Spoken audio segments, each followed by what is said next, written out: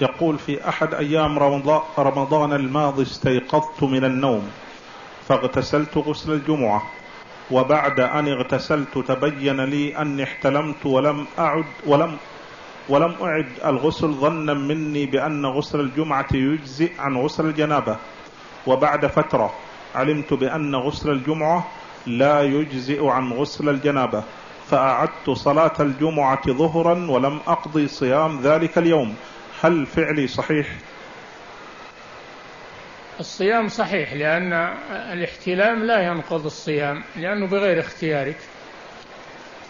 ولو خرج منك مني في الجماع في الاحتلام هذا لا يبطل الصيام لأنه بغير اختيارك.